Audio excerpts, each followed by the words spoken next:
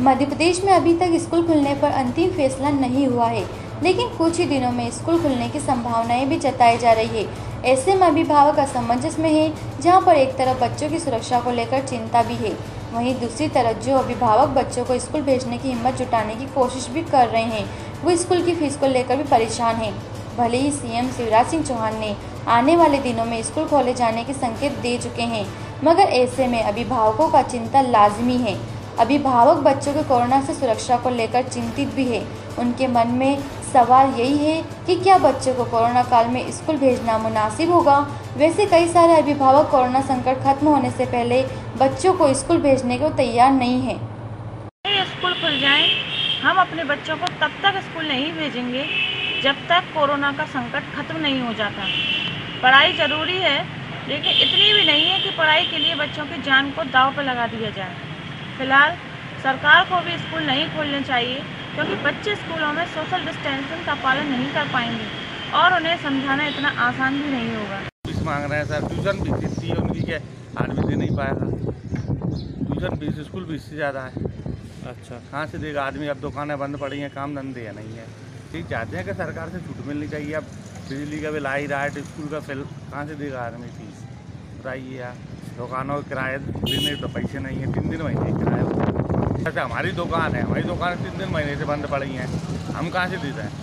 माल करा बुरा और जैसे कि हमारे मुख्यमंत्री महोदय ने भी आदेशित किया है कि आप सिर्फ़ स्कूल की फ़ीस ले सकते हैं।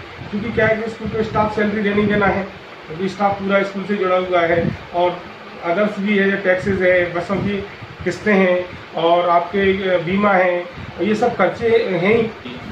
आर्थिक रूप से कमज़ोर जब प्राइवेट स्कूल में बच्चा एडमिशन कराने आता है तो आर्थिक रूप से कमज़ोर नहीं होता। और जो आर्थिक रूप से कमज़ोर है, वो आर में एडमिशन हमारे यहाँ है, वो हमें गवर्नमेंट पैसा दे रही है तो हम उनसे मांगने का प्रश्न ही नहीं उठता। इससे रियायत मिली है, फ़ीस तो उनकी जमा करनी ही मान्यता की है पर अगर गवर्नमेंट हमको तीन साल और पाँच साल के लिए दे देती तो ज़्यादा बेटर दो तरह का एज ग्रुप होता है बच्चों में।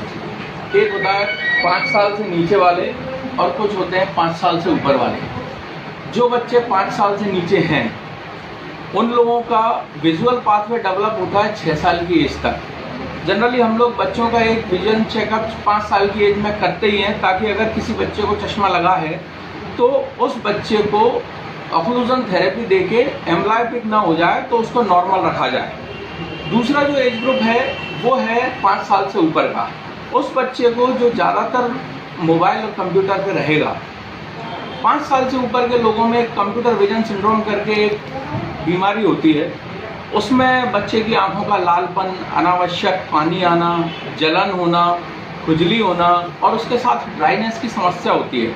क्योंकि नॉर्मल पलके झपकाने की जो दर है, वो 12 से 15 प्रति मिनट होती है। लेकिन जब बच्चा मोबाइल या कंप्यूटर पर देखता है तो वो दर घट के पाँच से सात प्रति मिनट पर आ जाती है। तो जो आँसू की फ़िल्म है, उसका वाष्पोत्सर्जन जल्दी होता है, तुरंत होता है तो आँखों को सूखने की समस्या हो जाती है।